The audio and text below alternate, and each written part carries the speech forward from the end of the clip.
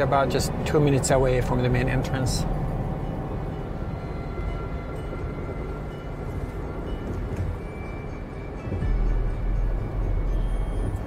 How far away is the Syrian border from here? Uh, Syrian border is about 17 to 18 kilometers north of the Zaatari camp. Yeah. Uh, the border is completely sealed off. Uh, Jordan is no longer accepting or able to take any more refugees uh, because of security issues. Unfortunately, we cannot film the main gate, Uh-huh. uh, so we would have to turn cameras off. When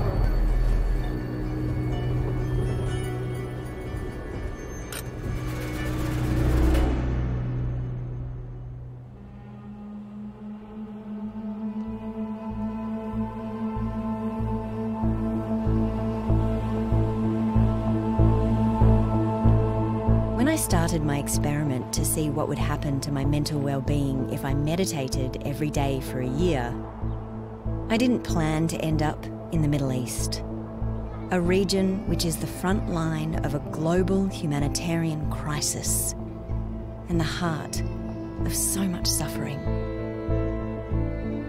Nonetheless, it was here, on the dusty streets of one of the biggest refugee camps in the world, where the psychological scars left by war and homelessness are in plain sight, that the importance of my first question finally hit home. But my story actually begins half a world away and more than a year ago.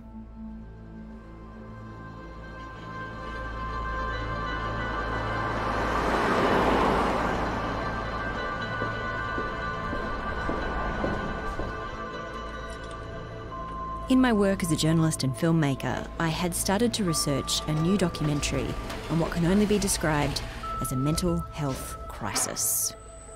And I don't just mean the well-being of the 70 million people who have lost their homes to war and famine.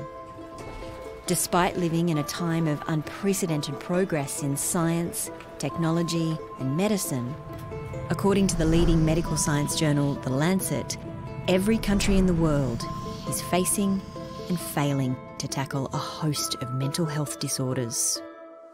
If economic affluence was a recipe for happiness and uh, freedom from pain and suffering, then the developed world should be about as happy as it gets, but it's not. But the rough estimates suggest that something like 20 to 25% of people will experience mental illness within their lifetime. So we're talking about one in four people. And there's even more interesting data more recently suggesting that that might even be an underestimate, which I find shocking. You know, if you think one in four people, that's huge, right? And if that's an underestimate, you know, what are we talking about?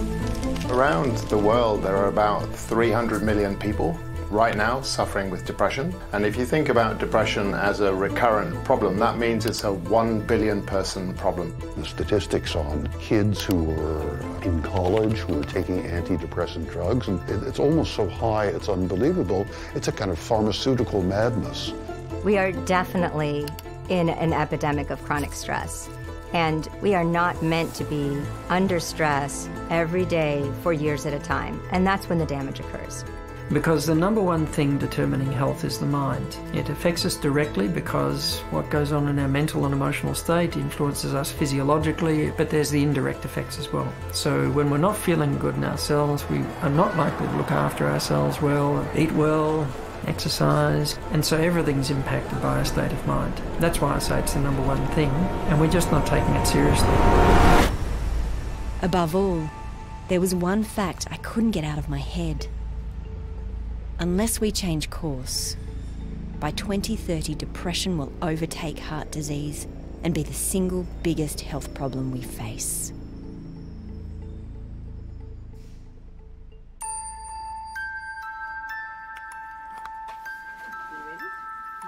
And it wasn't just my future I was worried about.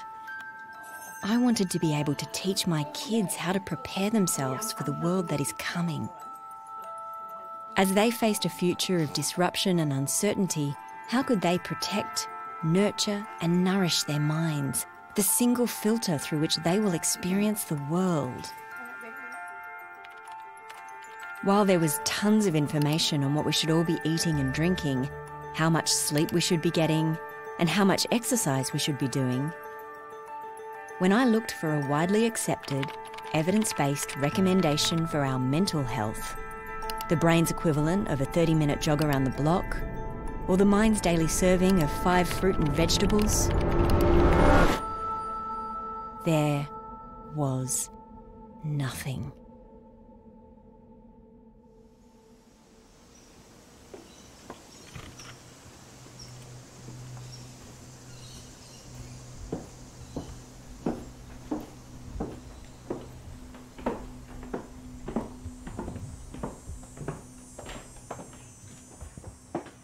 So I guess I just I wanted to show you this. These are my health records since I first got sick.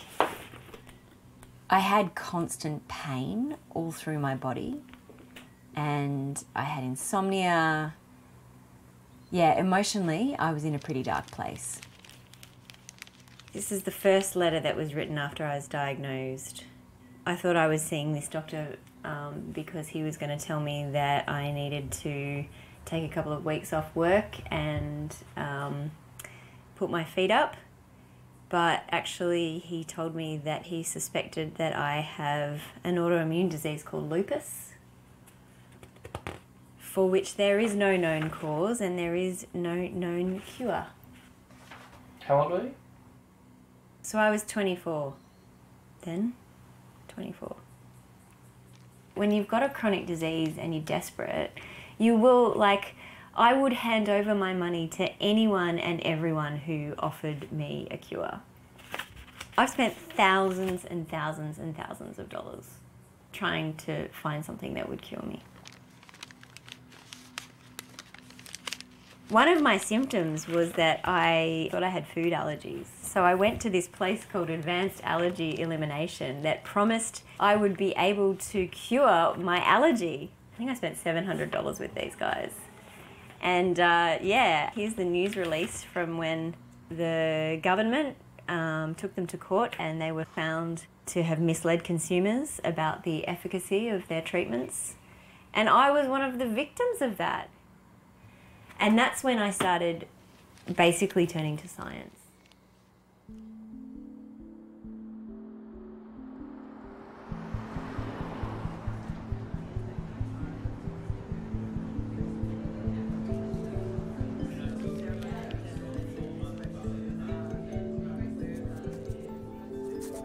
Experiment notes. If there's any way that I can prevent my kids from suffering in the same way I have, I want to find it. And I suspect if there is an answer, it will be buried in the latest scientific research. To me, any realistic solution has to meet some key requirements. It has to be available to anyone, anywhere, at any time, which means it has to be free or at least low cost. It has to be available to anyone regardless of their education or life circumstances, and it has to fit into the busy schedules of people living in the real world. My other key requirement is that it has to be based on a solid foundation of scientific evidence. Now, all that sounds like a lot to ask, but there is one thing that ticks all my boxes mindfulness meditation. I know we have decades of research informing the advice on exercise, food, and sleep. But in the last 10 years, new technology has enabled scientists to peer inside our brains and bodies while we sit quietly with our thoughts and feelings. In other words, meditate. And contemplative science has exploded. Whilst there are a number of popular forms of meditation, mindfulness in particular has captured scientific attention and gone from a few hundred peer reviewed papers to almost 6,000.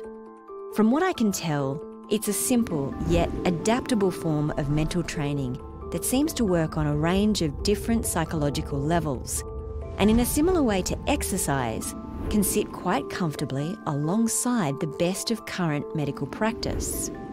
And this is what I find really interesting in the context of my question. An eight week program underpinned by mindfulness has repeatedly been found equal to medication for preventing recurrent depression. Given the mental health crisis, Should we all be practicing mindfulness in the same way that we should exercise and eat our vegetables? Or is this evidence too good to be true? There's only one way to find out. I'm going to do an experiment. My year of living mindfully. Hi, Mark. Okay, so you're across what you, you're across what the film is, obviously.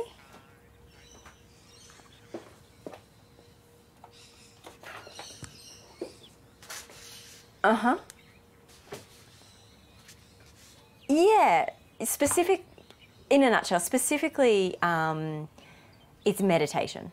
So you, you probably, maybe, um, unless you've been under a rock, you've probably heard that meditation is being sold as this cure-all panacea. And so this is kind of a project that's looking at, you know, is meditation, is it just self-report quality of life that changes? Or is there something really interesting that happens on a biological level? Oh, hey. Hello, nice Welcome. to meet you in You person. too. Yeah, come on through. We'll go down to this lab straight ahead here. I'm thrilled that a whole heap of scientists have come on board. Two neuroscientists, um, I've got somebody looking at my telomeres, we're tracking my um, stress hormones. That's where you guys come into it with the gene expression side of things, especially from the perspective that I have an autoimmune disease. Here's a sample. Excellent. Throw it in the freezer, keep it nice and cold. And then she has 30 minutes from when she's taken that blood to get it back to the lab. Has this ever been done before? So, not at this sort of intensity in terms of the scheduling of testing.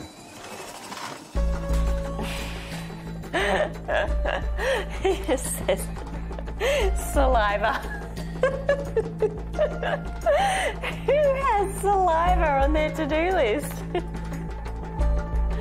so that's why I'm so grateful that you guys came on board and said you're interested, and oh, I'm fascinated.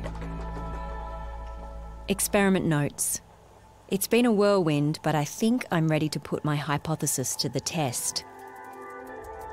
I first got sick 13 years ago, during an especially difficult time in my life. Although specialists have given my autoimmune disease various labels, if the science is anything to go by, then regular mindfulness meditation should have positive effects on my mind, body, and health. I've set up interviews with 18 of the world's top mindfulness scientists to guide me over the next year. And I now have six researchers on board to track every biomarker linked to mindfulness as well as my subjective well-being. Step one is to be poked, prodded, scanned, and screened to establish a baseline before I start to meditate. So we've already done this scan once, and now we're going to do it with the meditation. Okay. So we have comparable data. And how does the brain look? It looks it looks great. It's a we're brain? commenting on it. There is a brain. It's uh, it's very nice, well formed. Um, you know, no abnormalities. This part is the hippocampus, and this is one of the regions we're interested in. And we're interested in the hippocampus because it's one structure in the brain that we can measure very well. It's sensitive to stress. Um, it shrinks more with aging. Uh, so the, if we if we want to see whether some interventions decrease the effect of aging, that's one place we, we look at. The theory behind meditation's effect on the brain is that when we do something, there's activity in our brain, and over time, if it's done over and over again, those networks become stronger. It's the old neurons that fire together, wire together catchphrase. And it doesn't matter if I'm learning to navigate London streets in a taxicab, practicing the piano, or training in mindfulness meditation. If I do my exercises, my brain should, theoretically, change. So far, several studies have used MRIs to look at the brain structure of long term meditators, and there are noticeable differences.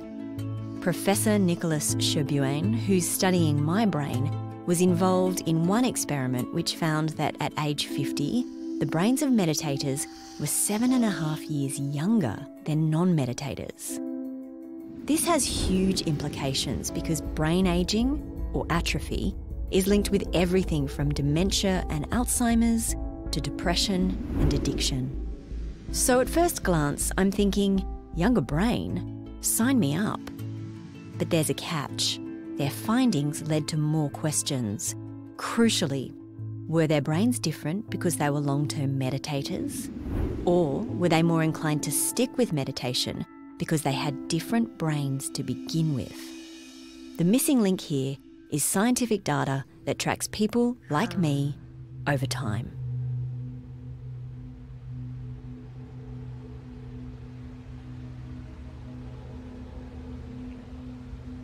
So, yeah, so I've just been lying in bed thinking that maybe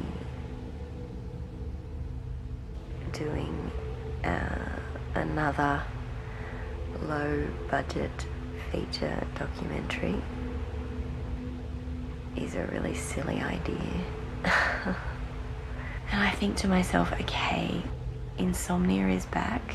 It looks like my autoimmune disease is presenting. Like, is making this film just the stupidest idea in the world? Like, am I going to pay for this with my health?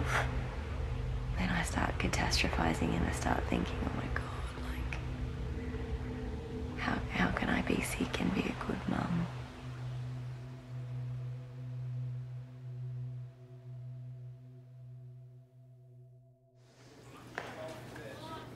So, like, I have been chronically stressed lately. Mm. I th- I've probably taken on a bit more than I should have. Mm-hmm.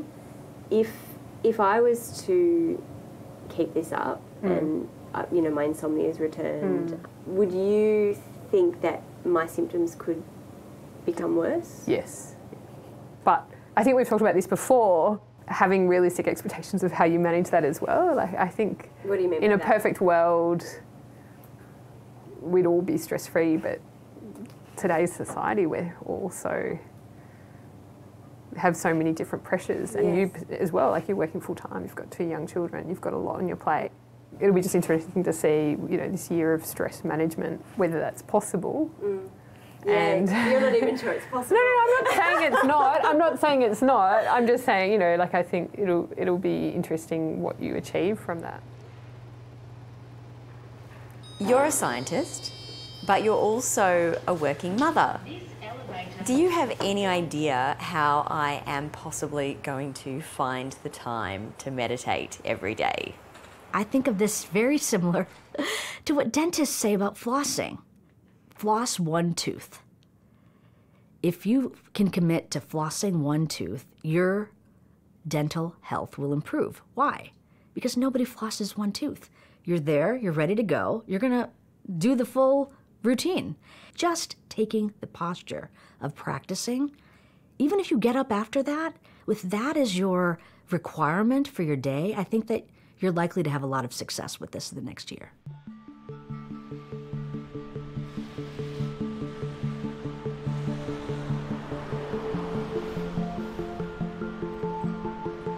Experiment Notes Methodology. To start, I'm aiming for 20 minutes a day using an app, and I'll slowly build from there. I've also signed up for an eight week course and a 10 day silent retreat. Apart from that, nothing else will change. I'll still have my usual parenting duties and full time work commitments. As a journalist, that means researching, writing, and travelling for interviews, and I won't change my diet or exercise habits. As for the actual practice, I'm turning to the experts. I just want to get on tape your definition of mindfulness. So, my working definition of mindfulness, this is what I call an operational definition, is that it's the awareness that arises from paying attention on purpose in the present moment, non judgmentally. And the non judgmental part is the kicker, so to speak. And people need to understand that non-judgmentally doesn't mean that you won't have any judgments. It will it means that you will be mindful of how many judgments you have. Uh, how attached we all are to wanting things to be this way, now wanting them to be that way. So this is kind of it's opera- an operational definition because when you put it into operation, then mindfulness arises within you. You can begin the meditation by settling into a comfortable posture. You may begin to feel your body breathing.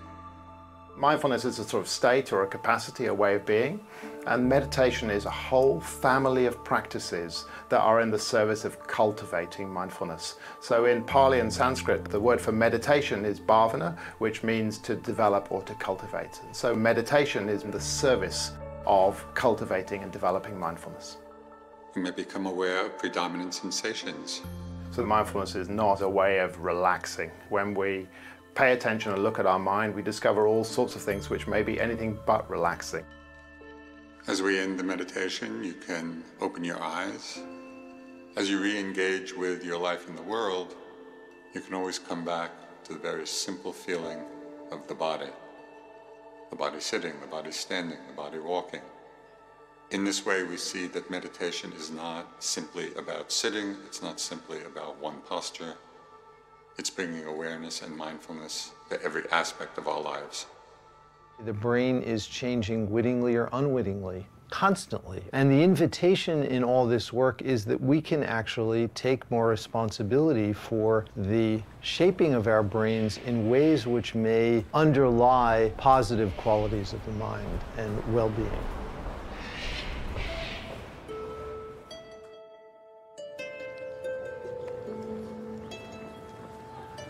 Experiment Notes, Day 14. I'm getting the gist that mindfulness is essentially a three and a half thousand year old technique to teach me how my mind works. I'm really grateful for the expert advice because there's just so much mindfulness on offer that it's hard to know who to trust. It's available in classrooms and boardrooms, in studios and online. There are mindful books, apps, gyms, buses, and even mayonnaise. Meditation is now the fastest growing health trend in the US and has transformed from an ancient Buddhist practice into a $1.1 billion industry. I'm starting to realise there's a big difference between the mindfulness for mental health that I'm reading about in the most prestigious science journals and the chicken pot pie based meditation system that promises to nourish my mind and body that was developed by the rather cheeky marketing department at KFC. A system that will ease your suffering and your hunger.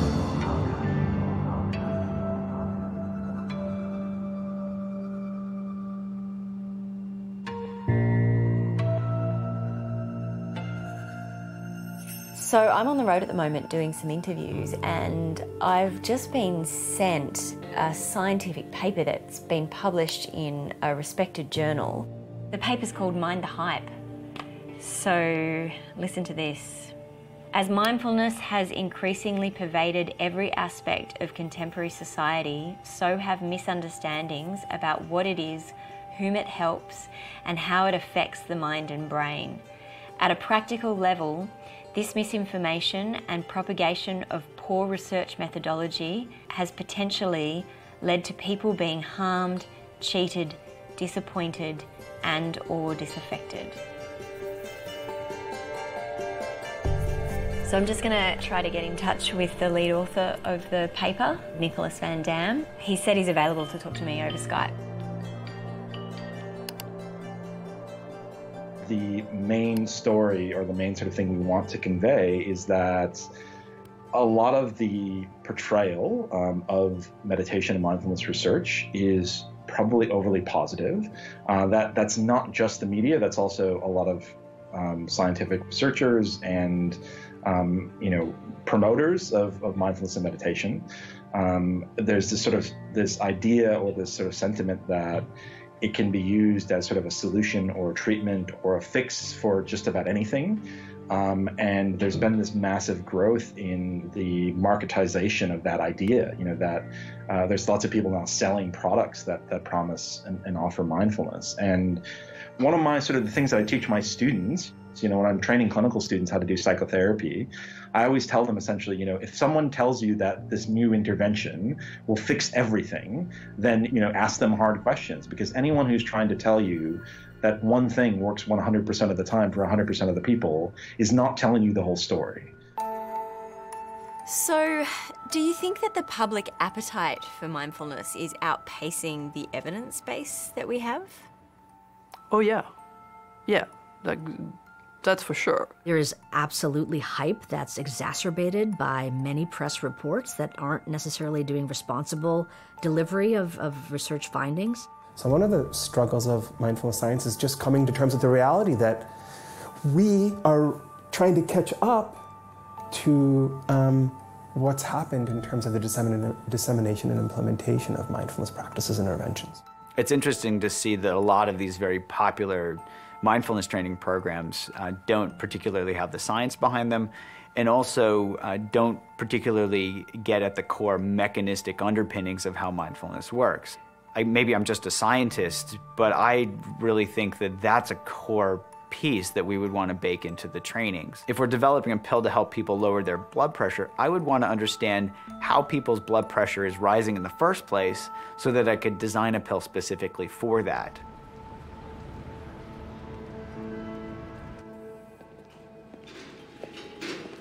Is, is this still a worthwhile experiment? I think, I mean, part of me says that as a scientist, I want to know what will happen. I'm, I'm excited by this. I think it's really, really interesting.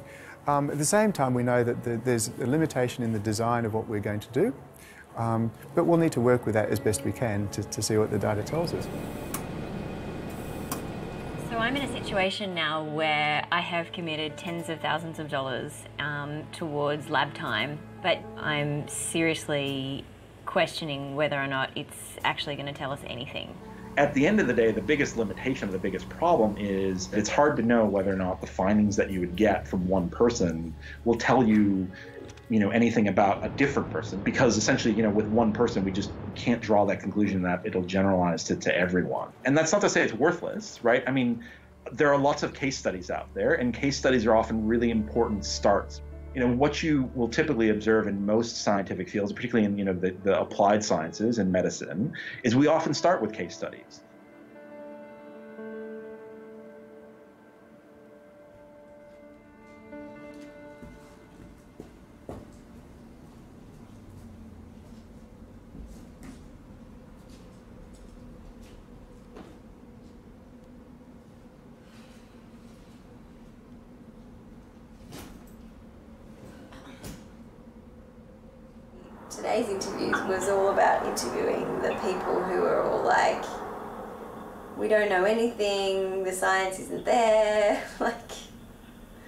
so basically, I left today going, hang on, why are we doing this again? Well, because, because of all these reasons. If it was all really simple, then this film would never get made because it would have a question mark. Well, let me just say this film certainly has a lot of question marks. So, and that's, you know, that's probably, that could very well be the story that comes out in like, what the hell am I doing? I don't know. That, that might be the question mark that comes out of it. So, yeah, we'll figure it out.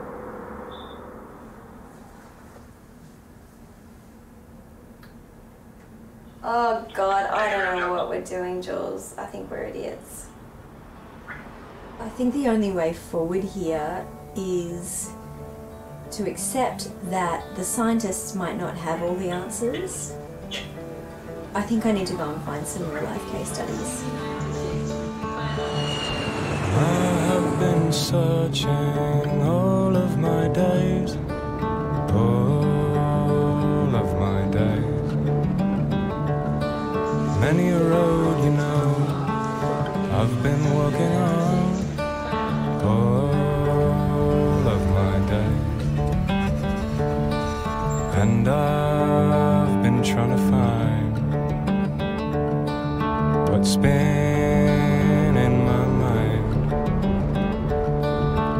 as the days keep turning into night. Yes, even breathing.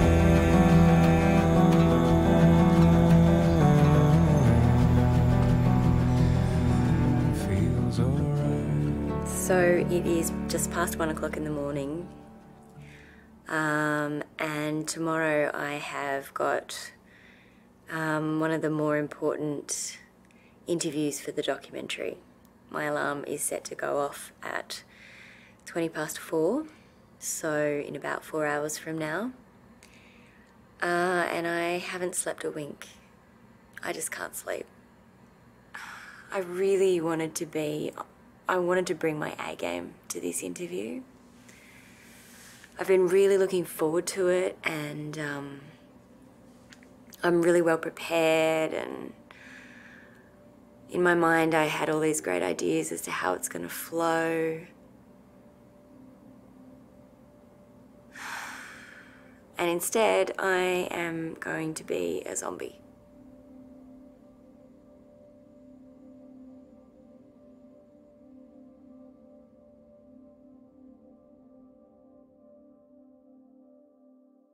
So let's start at the very beginning. How many million people saw you lose your mind on television?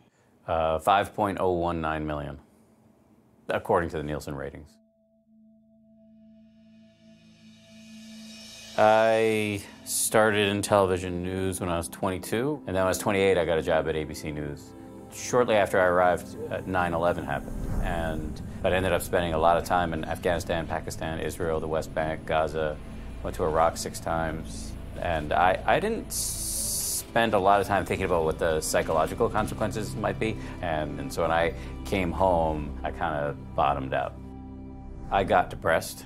Uh, although I didn't even know I was depressed, I, I uh, was having trouble getting out of bed. I felt like I had a low grade fever all the time. I went and consulted a bunch of doctors, and before I actually got a diagnosis of depression, I did something very dumb, which is I started to self medicate with recreational drugs, including cocaine and ecstasy.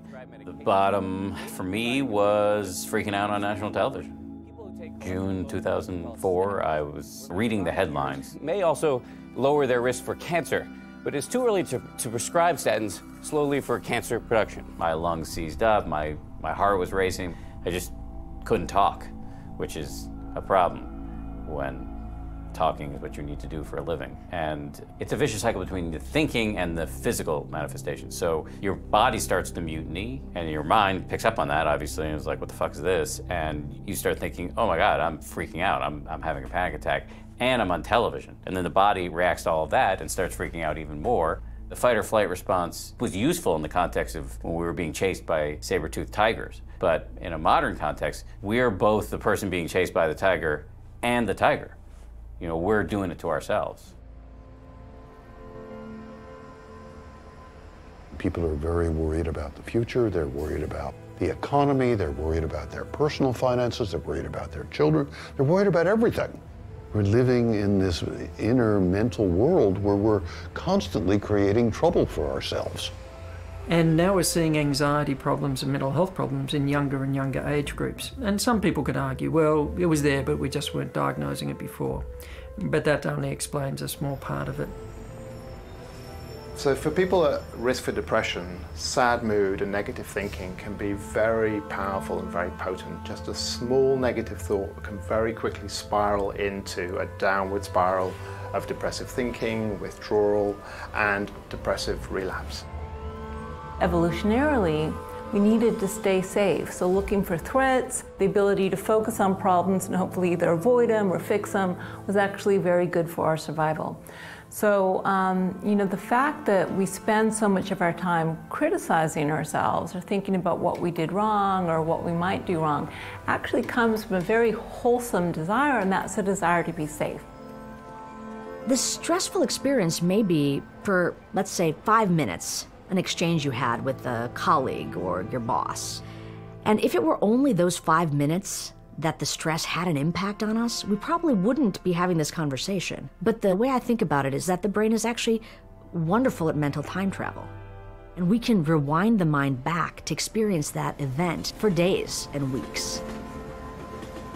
In general, in stress research, it has been found that exposure to a situation doesn't really determine mental health, let's say depression, as much as how someone is interpreting the situation. So, feelings of stress are important. And what happens to people is important too. But if I were to put my money on one, I would say it's the psychological response to, to situations, not just does the situation exist or not. So the first thing is to realize that it is affecting you. And the second is that there is something, actually, there are many things that you can do about it. And the potential is of resolving it and coming to a very different kind of place where we look squarely at the real dangers as opposed to the illusory dangers to us, and we start dealing with them. I came home one night and my wife gave me a book by a guy named Dr. Mark Epstein, who I liked right away because he had actual credentials as opposed to some of these self help folks who don't, to put it kindly. Epstein writes about the overlap between psychology and Buddhism, and it was this very dry eyed, common sense diagnosis of the human situation. Buddha uses this term that we have this, the monkey mind hurling ourselves from one hit of pleasant experience, one movie, one vacation, one latte, to the next, and yet never fully satisfied. The Buddha's description of the human situation was very compelling. His prescription was repellent, uh, which was that he says you should meditate. I did not want to do that. I thought it was ridiculous. And to the extent that I even thought about meditation, I thought it was for people who were really into, you know, kombucha and crystals and Enya. But for me, what changed my mind was reading about the science. For example, mindfulness based cognitive therapy has been shown now to be as good as gold standard treatment for the treatment of depression. It's only been around for about 15 or so years, whereas medication development's been around for 50, 75 years. And so it's already caught up. So I think there's a lot of interest in helping people develop their own natural capacities to heal and my study was one of the first to look at whether you could use MBCT to treat active depression. And we were really interested in mechanisms, so we looked at stress reactivity. So one of the best ways to stress people out is make them stand up and give a speech. And we found that the group that received meditation, they still had a stress response, which is good because you, you want to have a stress response but they recovered more quickly. And the control group were probably still kind of thinking about, like, oh, that was the worst experience ever, and like really ruminating about it, whereas the mindfulness group had learned to let go of that. And so, one of the ways that mindfulness works is by reducing that reactivity, that automaticity of the content of our thoughts. So, it's really amazing. An amazing thing about humans is the impact of language and linguistic symbol and verbal thought. Um, I am unlovable, I'm fat, I am all sorts of things. And just that content can trigger other thoughts, can trigger physiological responses like I can feel in my body now, emotions, and so on. And so reducing that identification with those passing experiences just as events in our consciousness is one of the most important ways through which mindfulness leads to well-being and reduced mental health struggles. I would say it was a couple of weeks before I started to notice some differences. The biggest one is mindfulness. We spend so much of our time just kind of yanked around by the malevolent puppeteer of our ego. You know, the, the thought pop, some neurotic obsession pops into our head. Uh, you know, I need a sleeve of Oreos, or I need to say the thing that's going to fuck up the next 48 hours of my marriage. Um, and we just do it. You know, there's no buffer between the stimulus and our, our blind reaction. Mindfulness, it's like this inner meteorologist that can see, oh yeah, there's a hurricane about to hit land, but I don't need to get carried away by it automatically, reflexively, habitually. I have some choice. I'm still the same person, right? So I, I still have a predisposition toward anxiety and depression, panic. But what I find is that I'm less likely to believe the, the bullshit that the ego coughs up. So what could be a several day long trudge through mopiness and despair actually can be truncated quite dramatically to a couple hours, a couple minutes, who knows, depending on how mindful I am. Does the critical thinking journalist in you ever worry that you've just bought massively into a cult? I mean, I, I, called it 10% happier. If I, if I, if the book was called Be Happy Now or like, this is the solution to all of your problems, yeah, I'd worry about that. But I think the vast swath of humanity could benefit from this very simple thing of just sitting down, closing your eyes or not, trying to feel your breath coming in and going out, and then when you get distracted, start again and again and again. The lessons there from this really simple little thing are incredibly rich. What follows on from that is an empathy with every other human who has the same process going on. And so now when you see other people who are losing their shit at the airplane ticket counter or whatever, you're like, oh yeah, that's me too.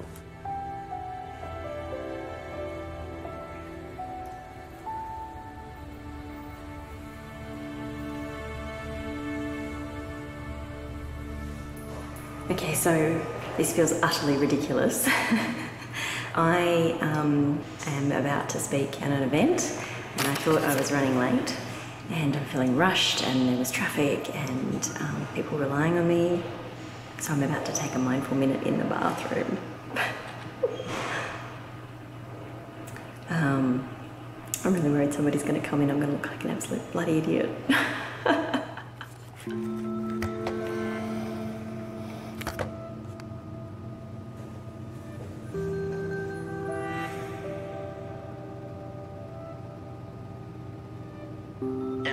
meditation, we're going to add the element of recognizing and noting those things that arise which are not the breath. So, day 51 of my year of living mindfully, and here I am meditating on the sidewalk. It may be thinking that comes up,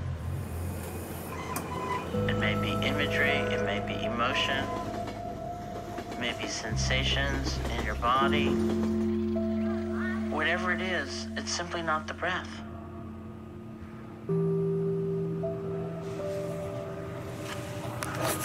There we go, a mindful minute in the bathroom before an event.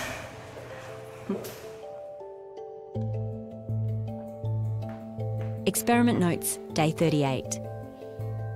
I've realised that science is only a small part of this story.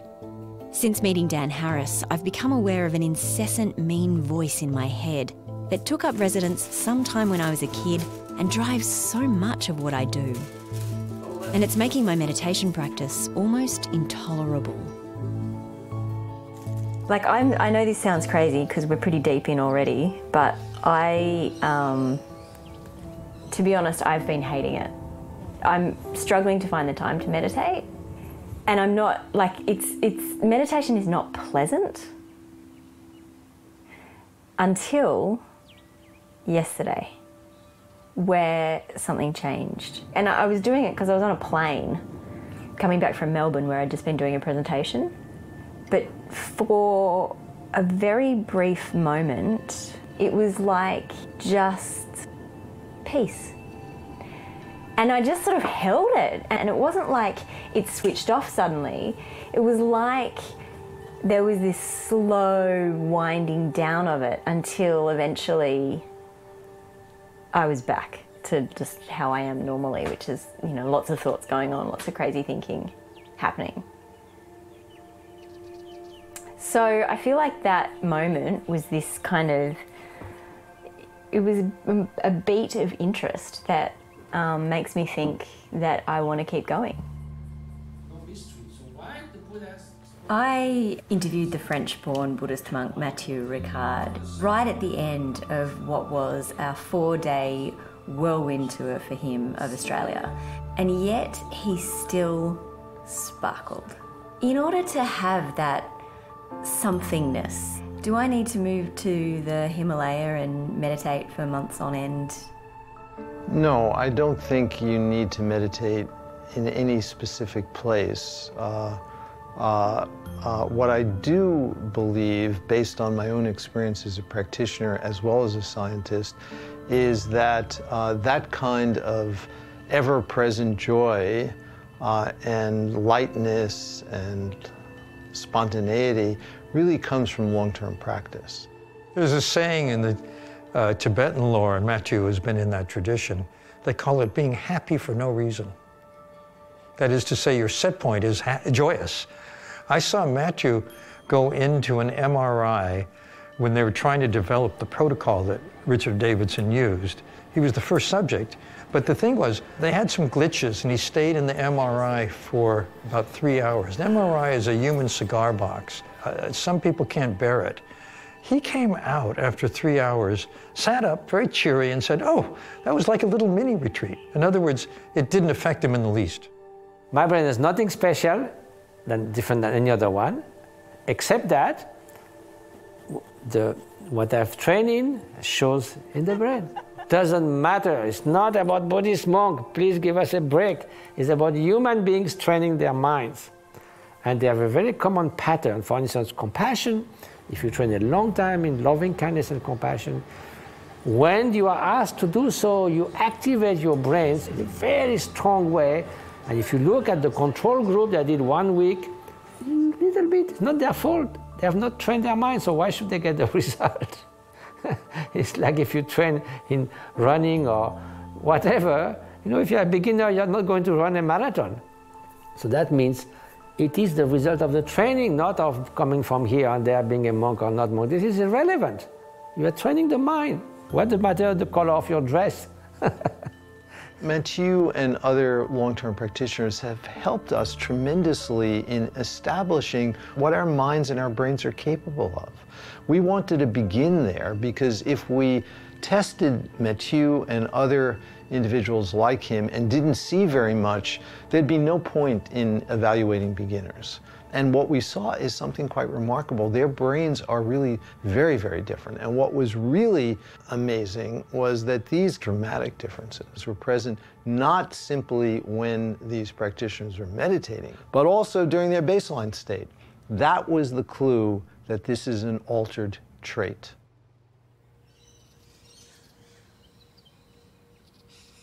So is this one rolling now, Jules? They should both be Both be rolling. Okay. You don't want to see. I have this lamp like balanced on my computer. You know what? I can't see it on camera, so therefore it doesn't exist. Perfect. so, like, I don't know if this is complete placebo, but my insomnia has just disappeared. Before you started meditating, what was your insomnia like? Um, once or twice a week, I would be going through the night unable to sleep. And your mind racing, you know, thoughts, thoughts, thoughts, thoughts, thoughts. Yeah. One of the simplest things that I give to my patients who have clinical insomnia is a body scan. So if you think of the uh, habit loop, there's a worry thought that triggers getting caught up in that anxiety. And then you start looking at your clock and saying, oh no, I can't sleep. And then it just gets worse and worse and worse. I don't know if that's your case. That's exactly Yeah. it. Yeah. So what are you noticing with mindfulness? Are you able to notice that and then let go of it? Or is, is it not even coming up? Like I'm, no- I'm really aware. Oh my god, I've got all these anxious thoughts, and so I'm kind of before I'm going to bed, I'm kind of mitigating my behavior. So how is that placebo? You're describing an actual behavior change, catching that worry thinking, not feeding it, and by not feeding it, not having insomnia. So there's a you can see a causal link there. What I think is really important is that mindfulness does not cure your illnesses, but what it does is it helps you to change your relationship to the illness. Well, and there's also, I think, another important potential mechanism is in helping people take better care of themselves, having a healthier diet, getting enough sleep, getting enough physical exercise, all of these things that are known to be really important aspects of being healthy and that we all struggle with actually doing. That's one of the things that we're studying how mindfulness training could be an element in helping people change their behaviors to healthier lifestyles. It appears that these trainings can help people change behavior. The other thing that we can say is mechanistically, it seems that mindfulness is helping to decouple the craving and the behavior. So, that piece we've seen multiple times as well. So, we've seen replicability in that as well. Where we might be able to start applying this is to other types of behaviors where we're seeing similar types of habit loops. Whether it's smoking cigarettes, drinking alcohol, smoking crack cocaine, using heroin, eating food, or even going on social media. That's been shown to activate the same dopaminergic reward system as all these known drugs of abuse. So, for example, we got five times the quit rates of gold standard treatment in our smoking program when we did a randomized controlled trial. And mechanistically, we could see how the mindfulness training was decoupling the craving from the behavior. Sorry, Dad, just stop.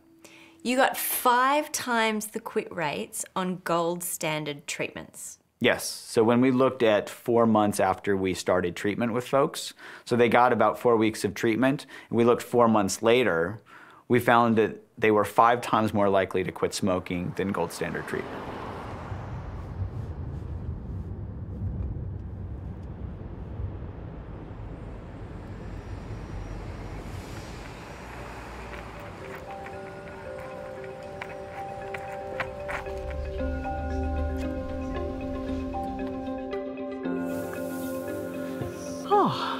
So welcome everybody. Um, feels really good to actually be here in the flesh. MBSR is basically was a proof of concept and a kind of model for how we could catch people, just regular people, no interest in meditation, but major suffering because the people we were targeting were those who were falling through the cracks, as I like to say, of the healthcare system. Experiment notes day 123. I've stepped up to 45 minutes a day for my MBSR course, mostly practicing a body scan technique. And I'm really noticing a dose effect. I'm now even more aware of my mental habits, the same thoughts happening again and again, and I'm getting better at noticing my emotions arising without automatically reacting to them. As intriguing as this is anecdotally, though, I'm surprised that there's hardly any evidence that tells me how long I should practice for, or even what specific techniques work best. One recent study by Harvard neuroscientists did directly compare the mindfulness in MBSR with another popular technique, relaxation meditation. They split people into two groups and taught them both a body scan. But while one group was taught to systematically relax areas in their body, the other was taught mindfulness, being aware of each area without trying to change anything. Although both groups reported feeling less stress, it turned out this tiny tweak in the mental training resulted in noticeable differences in their brain activity. In the same way that swimming and running are both called exercise and can be good for me, different meditation techniques might actually matter. And I suspect that particular contemplative practices will one day be prescribed to different people for specific reasons.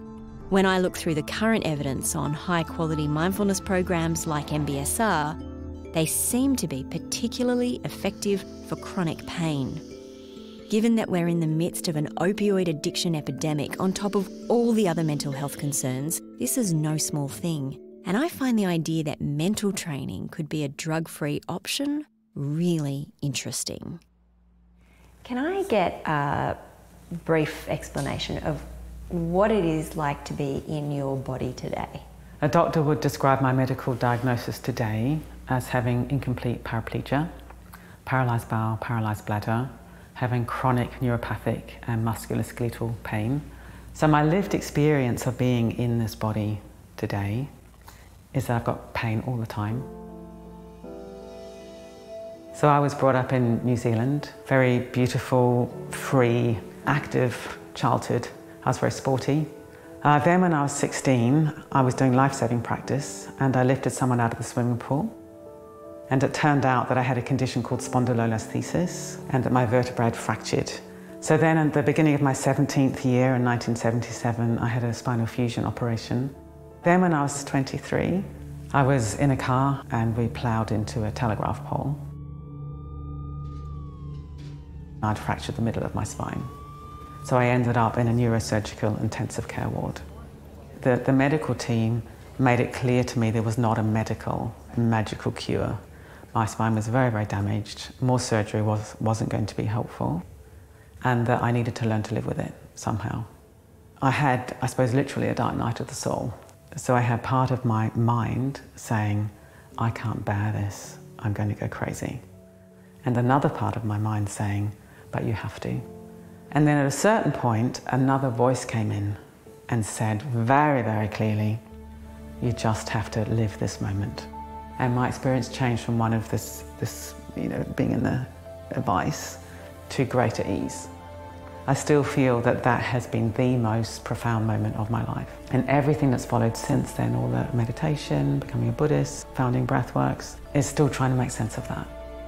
I came across the work of Jon Kabat-Zinn around that time and also the work of Stephen Levine. And what they both talked about was turning towards your direct experience rather than trying to escape your pain. Why does mindfulness work so effectively with chronic pain? Well, the thing to understand about pain, acute or chronic, but especially chronic, is that we experience a sensation and then there's all the mental and emotional reaction to the sensation. And so, with the same stimulus, the brain fires off more pain messages. The person's not making it up. It's not like the person's imagining the pain, the person's experiencing it.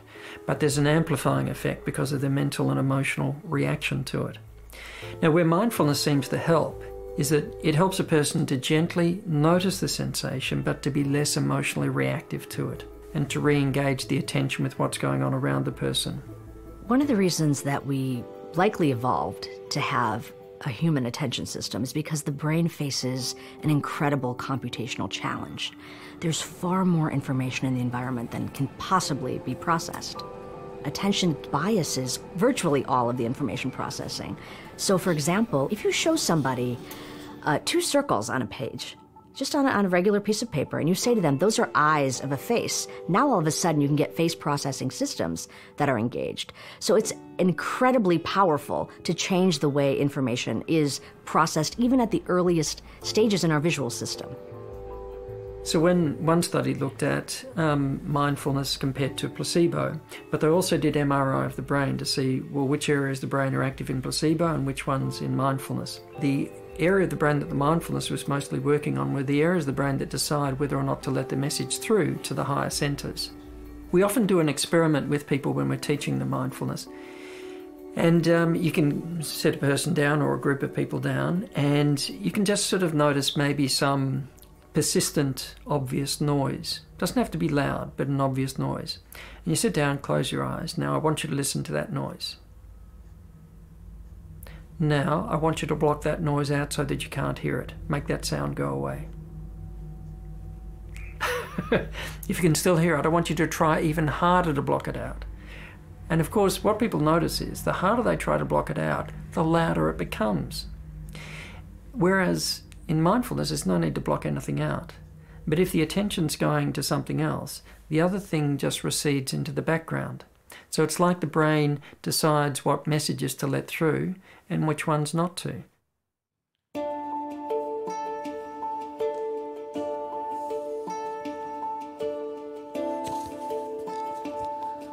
Welcome to the class, everybody. Very lovely to see you all. I have a very effective life now. I travel globally, I teach globally, I've still got chronic pain, I'm still disabled, I've still got a paralysed bowel and bladder, my legs don't work properly, but I have a really good life. My story isn't one of a miracle cure. It's a story of healing rather than cure. And I think this is very, very important because for many, many years I felt I was a failure. Can't manage to earn a living, can't manage to sort my life out, and I can't cure my pain. And you know, meditation isn't going to unfuse my spine, but meditation has enabled me to profoundly heal my response to life as it, as it is. And for me, that's a much greater miracle because we've all got bodies that will age. We've all got bodies that things will go wrong. And if, if the paradigm is you're only succeeding if you can have a perfect body at all times through all stages of life, we're all going to fail. So I'm not actually very interested in cure. I'm interested in learning to live with my life, with whatever arrives in any day. And we can't control what arrives in our life, but we can control how we respond to what arrives in our life.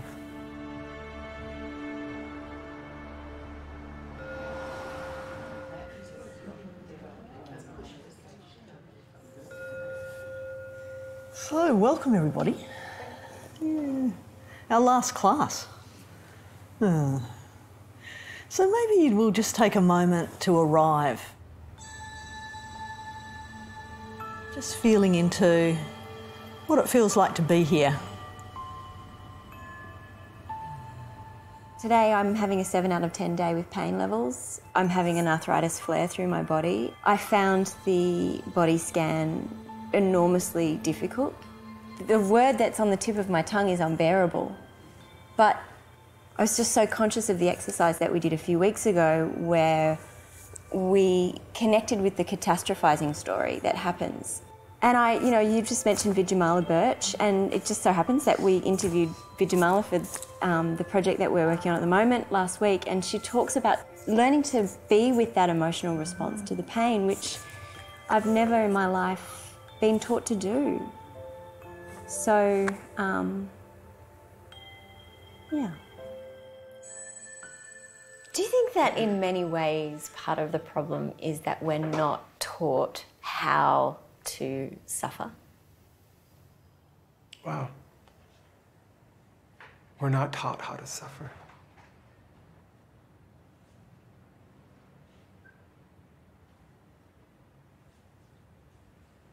You know, it's really interesting. Maybe. I think in some ways we are taught how to suffer, but sometimes it doesn't necessarily mean that what, we've, what we learn and what we've been taught is the most adaptive way.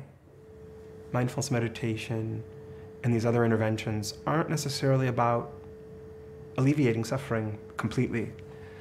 Mm, Maybe alleviating unnecessary suffering is one way of thinking about it.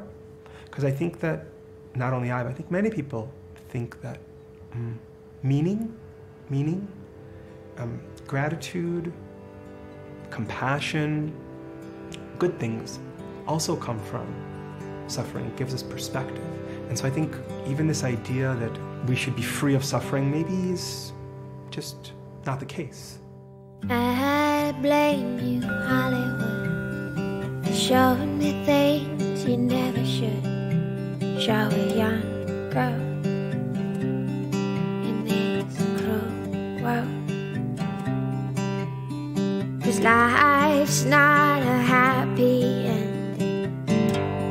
sure there are some like Johnny and June,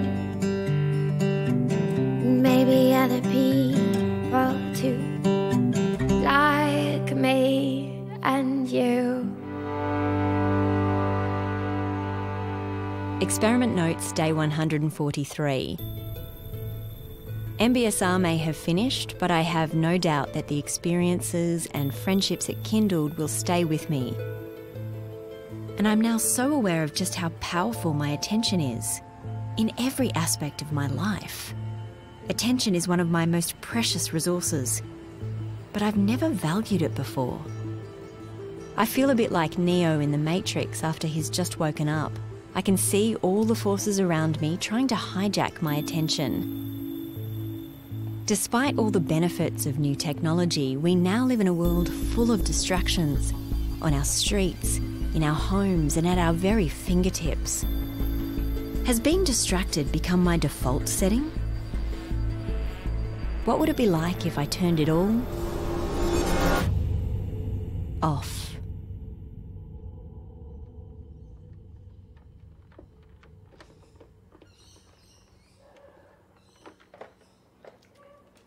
So here we go, my first silent retreat. I'm not scared, I am maybe trepidatious could be the right word.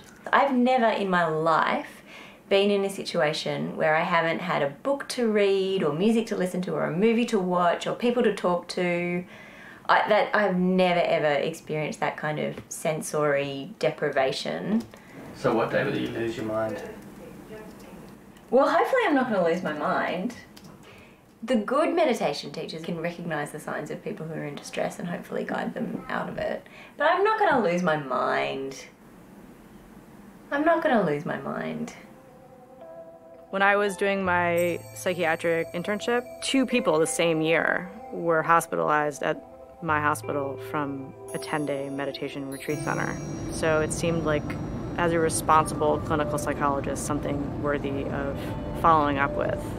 The Varieties of Contemplative Experience study was an interview based study about various difficulties that can arise in the context of practice.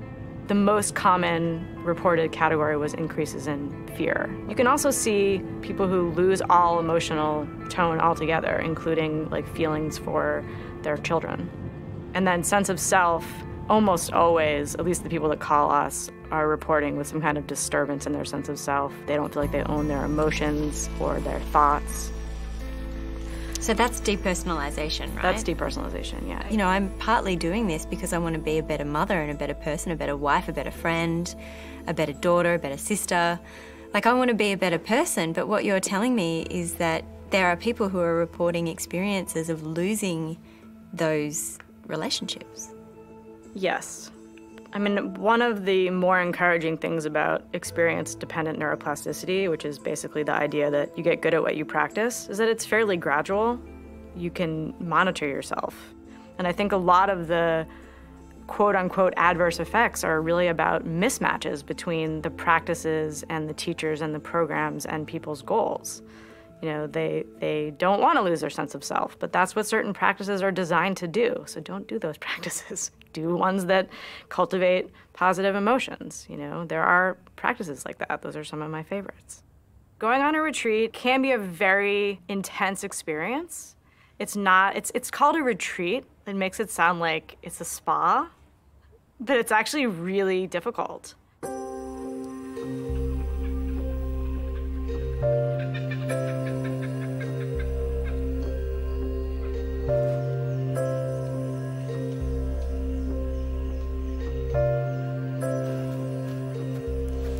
Agreement with the organisers of the retreat was that once other people started arriving, I would Stop using the camera in public. So I think, yeah, the arrival of that car there pretty much symbolises the arrival of the other people. So I guess for now, it's going to be signing off.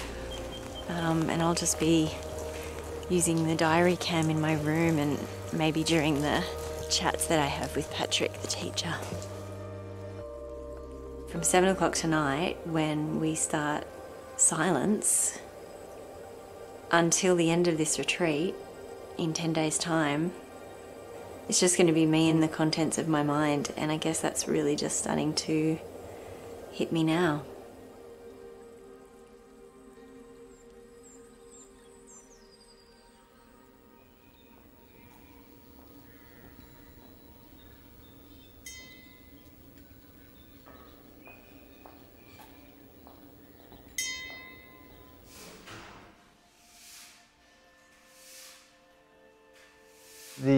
Resting state is a topic of tremendously increased scientific interest. So if you put a person in an MRI scanner and instruct them to simply rest, we see a pattern of brain activity that is non-random. What you actually see is that there are circuits which emerge as being more activated than other circuits. And those circuits have been called the default mode.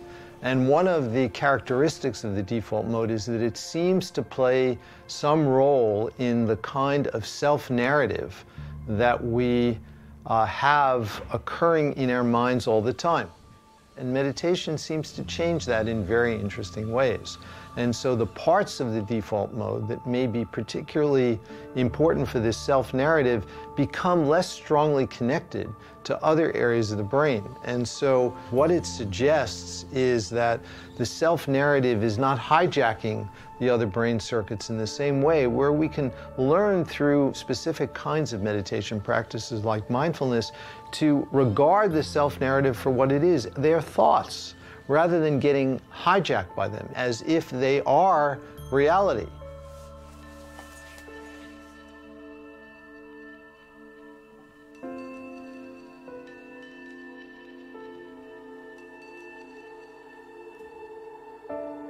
The posterior cingulate cortex is actually one of the hubs of the default mode network. It seems to be a marker of the experiential self, at least that's our hypothesis. So the idea is there's something in our experience that says this is going to set a boundary between me and the rest of the world.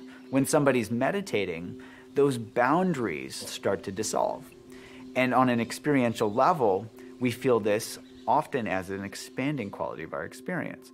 And if that expansion goes all the way to infinity, we start to lose that boundary between ourself and others. And what we found was the posterior cingulate cortex gets really quiet when we're meditating or being curious or even being grateful.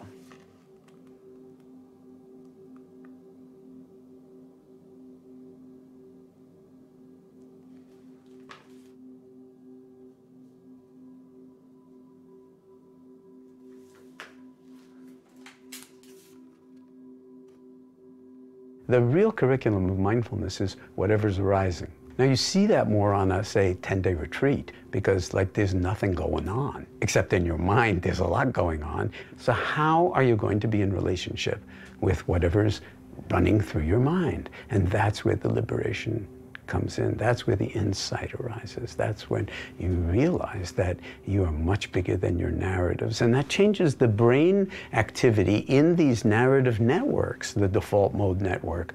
And as I alluded to, uh, I think metaphorically at least, we need to do a lot more science before we can know the, the, degree to which it's literally true, we're shifting the default mode from one of mindlessness and mind wandering to mindfulness,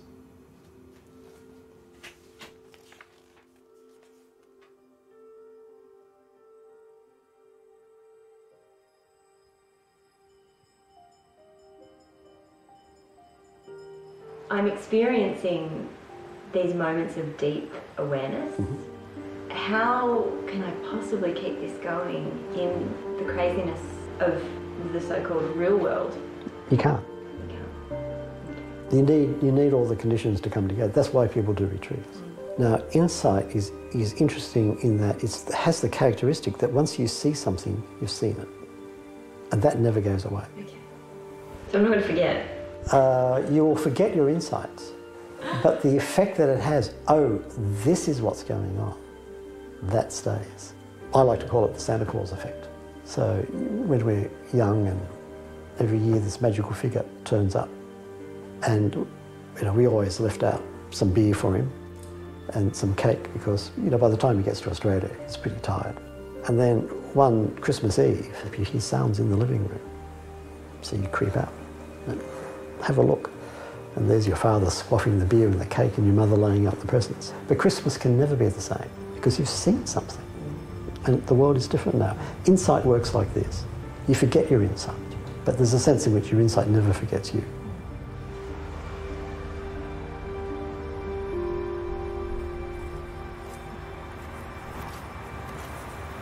Hello. How you doing? Welcome back. Thank you. How was it? Um, it was extraordinary. You know what's in my head right now, don't you? no, not all of it. Yeah, no, I get where you're uh, coming from. I think. Yeah. So we're going to see that on a brain scan? Well, shall we go take a look?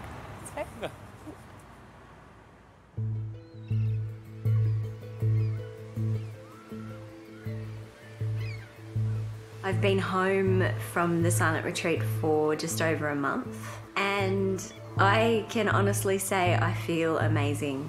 I feel amazing in my head, and I feel amazing in my body. I have no symptoms of my autoimmune disease. The changes are so monumental for me that I can't help but wonder if this is simply that I feel differently about my illness, or if there's something more going on, like under my skin and in my cells. Now, I do understand that it's early days, but do you think this research holds promise for autoimmune diseases? It's a good question, Shannon. I think that mindfulness and mind body activities are helpful to the immune system regardless of whether it's being overactive or underactive. While genetics plays a huge role, when you want to know who's living well to 100, we think lifestyle plays a tremendous role, and it's the interaction of lifestyle and experience with genetics. It's not one or the other, the action is in the interaction. Whether or not mindfulness actually cures a disease remains to be seen. There's some hopeful signs. A study that Richie Davidson did actually, where advanced meditators uh, in six hours of meditation uh, turned off or downregulated the genes that create inflammation in the body. Uh, whether that's clinically significant or not, it's too early to say. And that does have important health implications because we know that inflammatory processes are at the root of many chronic illnesses cardiovascular disease, arthritis, asthma. And if meditation can reduce inflammation, that's a really important finding. That's very exciting, though, as somebody with an autoimmune disease, I have to say. We're very interested to see what would happen if someone like you with an autoimmune disease were to become a very serious meditator and track what goes on during that time genetically uh, and in terms of symptoms, of course. But that hasn't happened yet. What I'm starting to realise is how frontier this science is, and that at the end of my experiment, I might not have hard scientific data to explain my own transformative experience. How do I reconcile this? That's a hard one. I don't know. I mean, I think our assumption, our default in science is often, oh, we want to know whether or not mindfulness or meditation works. Let's hook the person that's doing the meditation up to every possible thing we can think of. And it may be that the effects are on the person as a whole, and that you may best observe those in that person's life. So the really cool studies that I've seen have looked at cases where they randomized therapists in training to either get Zen meditation practice or just relaxation.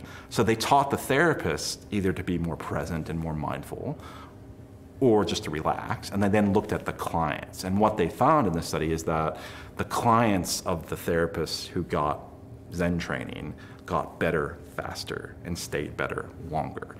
And so I think for me, we really need to think carefully about well, where are we looking for the effects? Where would we notice this? If this is working, where would we observe it? And it might not necessarily always be biology.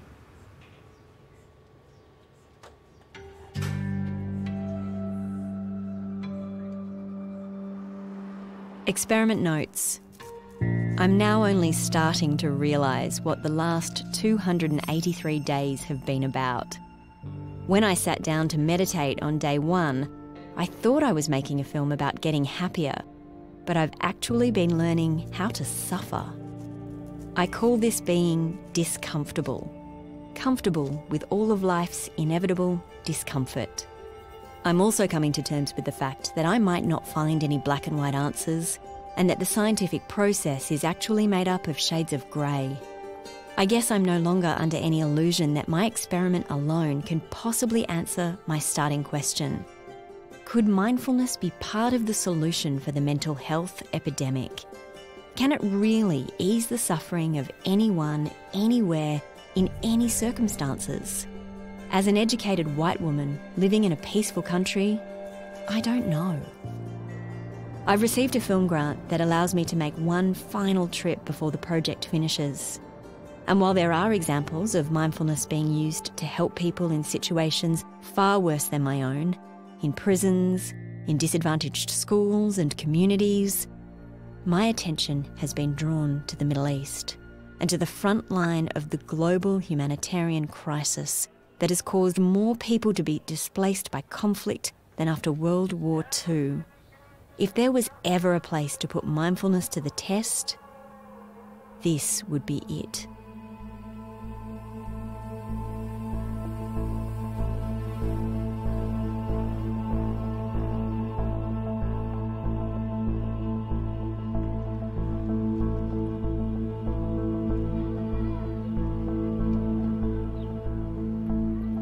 I am currently in the Zaatari refugee camp, which is one of the largest refugee camps in the world. And it's really one thing to read about places like this on the internet and to see the images on the television, but it is a completely different thing to actually come here and see this for myself and to meet the people who now call this place home. تعبت. تعبت والله العظيم والله العظيم أمسيات صلاة الفجر ادعي أقول يا رب أموت وأرتاح. يعني يمكن الله موقفني على رجلي بحسنة الأولاد تعبت أبو آدم. يعني يوم المرأة تكون أولادها صغار والزلمة مجافيها ولا لا يطلع عليها لا بمصروف ولا بشي شو تكون حياتها صعبة. والله تعبت. والله. When I met um, Hamza. Today, she is the single mother of six children. She told me that this is home because there is no home for her to go home to. I really, I can't see how teaching meditation is actually going to change anything. There's no doubt that when you have tens of millions, or even millions, or even hundreds of thousands of people that are forcibly displaced. There are governmental and non governmental organizations that um, leap in to provide assistance and care, and they have to deal with all sorts of things like, you know, housing, food, water, and later education, all sorts of legal and immigration residency issues and status. And those things are really important, there's no doubt, they're critical. But then you have those same hundreds of thousands of people who endured unimaginable pain and experience of trauma and ongoing chronic stress of uncertainty about what this means, and we can't see those scars. And in terms of access to mental health care, it's just a tiny, tiny fraction of the millions who need care receive any care. And among those that receive some care, the truth is we don't, we don't have a good understanding of what they need. So what happens is people are, are, you know, living with all this anger, all this fear, all this uh, worry about the future. And if you wait, these patterns of extreme stress become fixed, fixed in physiology and biology, fixed psychologically, people's fear and anxiety and depression, fixed in behavior. So the best time to work with people is when the trauma is actually happening.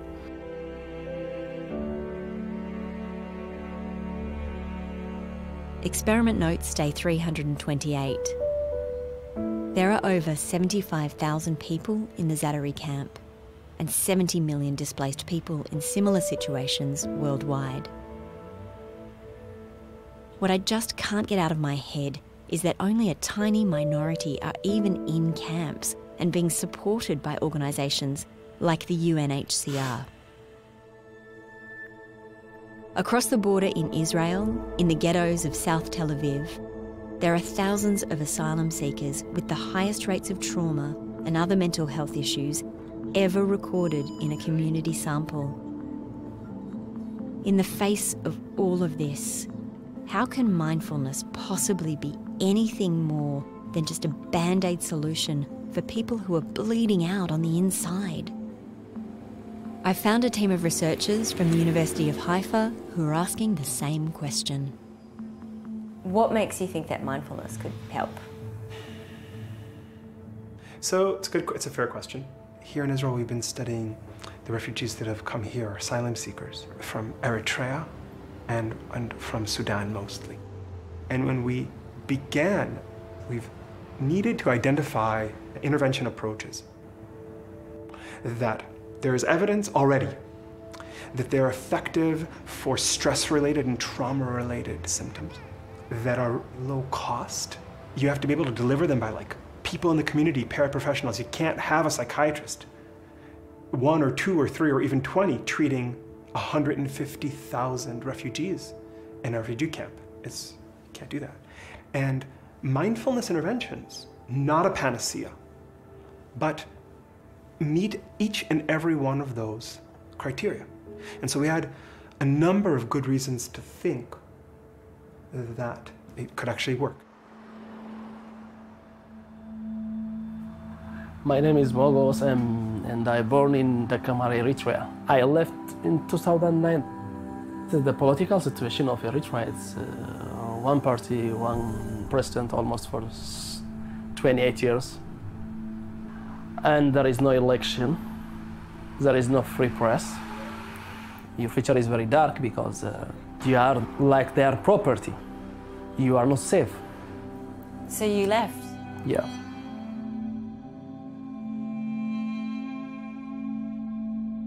There was someone, smuggler, also the same.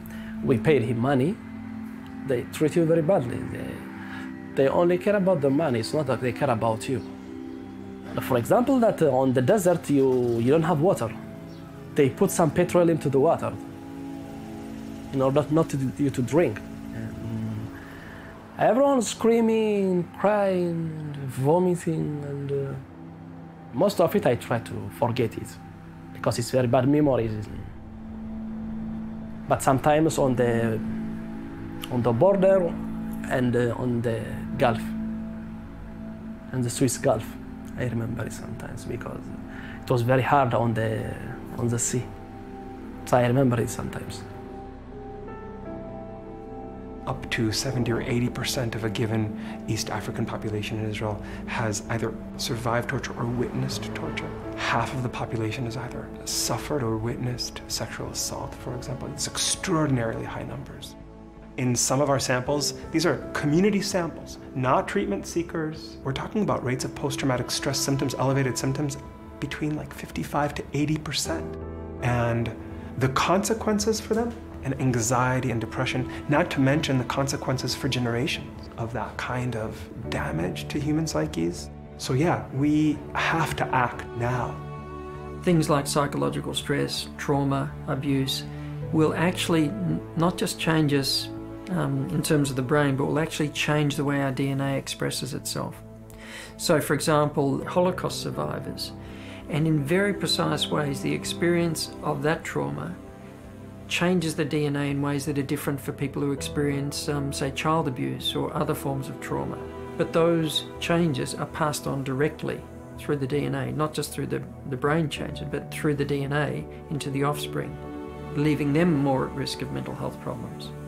So it's not just about helping somebody now. Everything we do to help somebody now is also an investment in the well-being of future generations. Or when we traumatize somebody now, it's not just that person that suffers, it's the offspring as well. So, yeah, we developed um, what we're describing now as a mindful trauma recovery intervention or program for refugees. And we are now in the midst of a randomized control study of that intervention.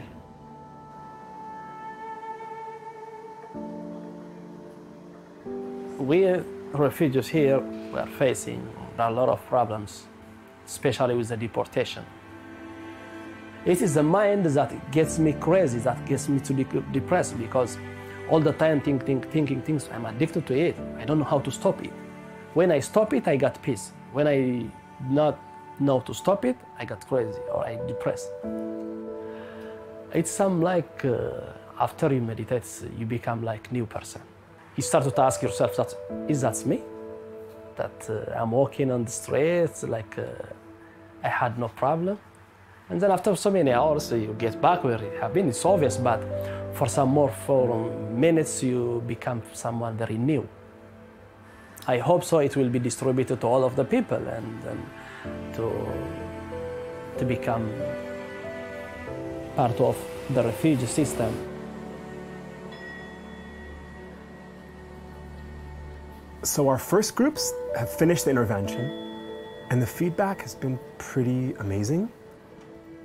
People, men and women, saying things like, I relate to my experience in a totally new way. I didn't know I was an autopilot. And the preliminary data is promising.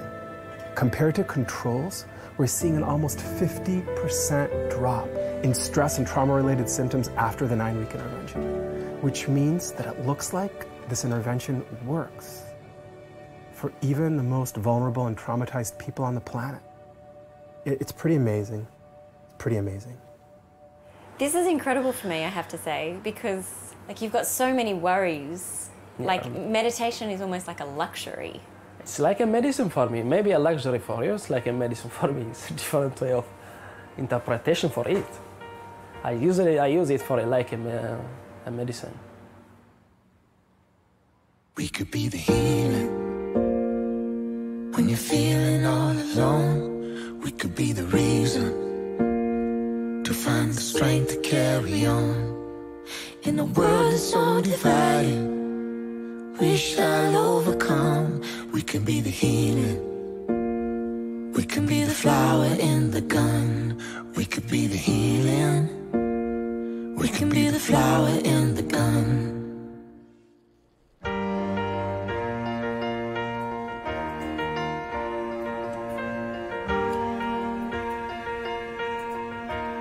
That's it, that's the last EEG for the whole project. We're done. I don't know if these little nodules sitting on top of my skull are able to actually measure those changes. But I can tell you that I, my experience is different.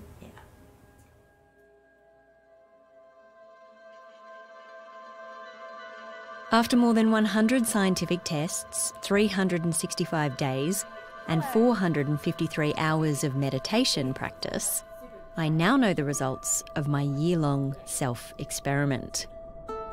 Using an EEG, we did seven scans to test my attention and working memory. Whilst there were clear differences between my resting state and meditating state, there was too much noise in the data to see any trends. My conclusion you just can't meditate away the impacts of things like sleep deprivation, jet lag, or the flu. But my brain did change. The MRI scans showed structural changes in a number of key regions, including the fact that while most brains start shrinking when we reach our early 20s, areas in my brain that relate to self awareness, memory, and dealing with emotions did the opposite and grew. What is very interesting is that in the right hippocampus, there, in your brain, there is an increase in uh, hippocampal volume, and quite a substantial one. The, the hippocampus is used for the modulation of emotions, and so, for instance, those people who have depression tend to have a small hippocampus, so it's an important structure. In terms of my experience of what has been changing as a result of the meditation practice, it's my emotion regulation. So, what you're saying is that that subjective experience is being reflected there That's in right. my brain. It's consistent with what we see here. The frontier of mindfulness science is whether or not doing something with our mind could have downstream effects throughout our body. And the answer is yes. But where and why? That's where it gets interesting. My blood tests showed that my autoimmune disease hasn't vanished. And whilst there were trends in my immune function, inflammation, and stress markers, this experiment didn't occur in a sterile laboratory. The ups and downs of life created a lot of noise in the data. At a cellular level, when we looked at my telomeres, which are the caps on the end of my DNA, the last sample showed that they may have grown, which is interesting because shorter telomeres are associated with a host of chronic illnesses. And while it's tempting to sell this as good news, we actually used three different measuring techniques on each sample, and they all showed different results, which tells me that it's very early days for this science.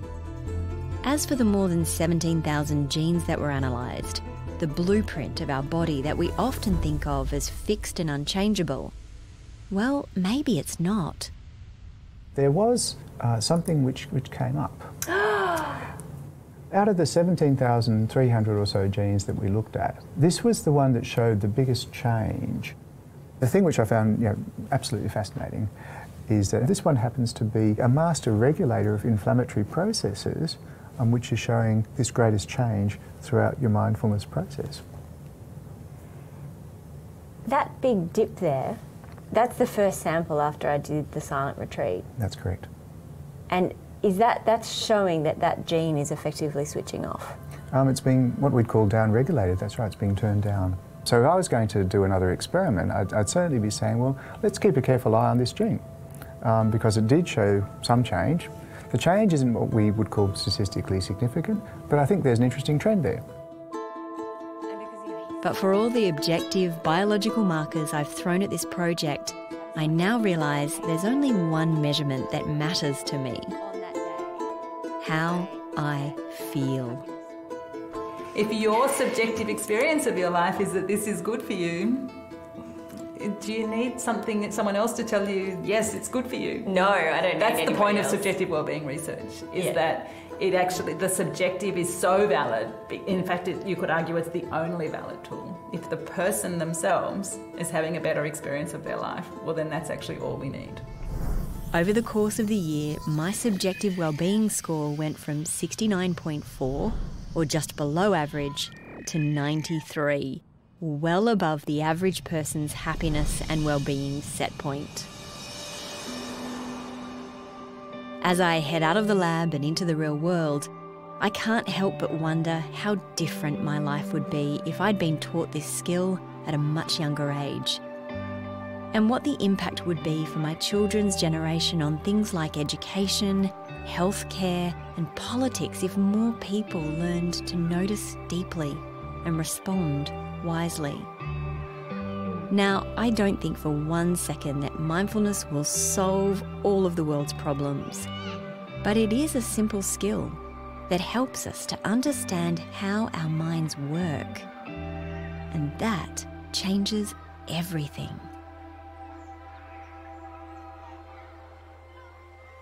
I started this looking for something that I could do every day to protect, nurture, and nourish my mind. It's now day 543 of what was supposed to be a year long experiment. But I don't think of this as my year of living mindfully anymore. It's simply living mindfully every day for the rest of my life.